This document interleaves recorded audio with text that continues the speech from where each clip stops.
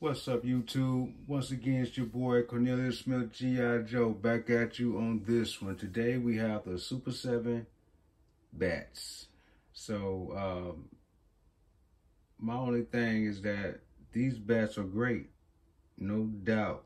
No doubt. If you don't have any of them, get you a few of them. I wouldn't mind having two more.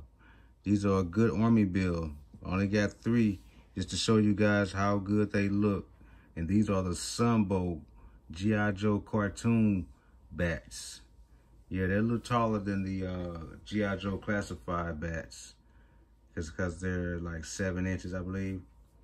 But uh, I would say, yeah, if you're into the line like I am, these bats will go perfect with your classified series G.I. Joe bats. They go perfect. Uh, I would like for Super 7 to make these bats some Crimson bats. I would like to see these as some uh, Python Patrol bats. And if they're gonna, if they ever do, I like to see these as Arctic bats. You know, that'd be real nice. But uh, once again, these are the uh, Super 7 uh, bats. Uh, they do look nice, seriously. I'm not just trying to tell you guys to go and buy something. You know, you can only buy what you like. But I gave this a try, and uh, I'm hunting for like two more, and that'll be a nice little army build, so you can have one right here and one right there, you know. And it look like a nice big legion of bats for Cobra. So, uh, you guys like, drop a comment, you know, hit the like button, you know what I'm saying? Push the bell button for all notifications so when I drop a video, you'll always be notified. And uh, give me your opinion on the uh, Super 7 uh, bats. You know, I mean, uh, Super 7 is really making a whole line of uh, G.I. Joe.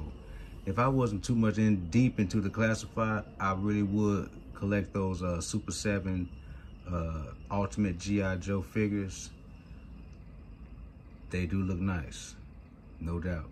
I will tell you the truth, they do look nice. But uh, like I say, uh, drop a comment, tell me uh, what you guys think about these uh, Super 7 Ultimate uh, bats. Uh, would you add them to your collection? Do you want to add them to your collection? Do you think it's necessary to add them to your collection? And on top of that, the price point. Tell me how what do you think about the price points of a Super 7? So uh, drop a comment. Uh, let me hear about you. You know what I'm saying? Let me talk to you. You know, I think for this, the price is a little shaky. It's a little shaky.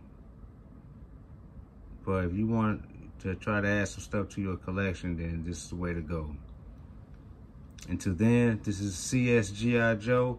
And I'm to be out, y'all, because I got to work in the morning. So it's real like that. So on my end of this part of the earth, peace in a mile.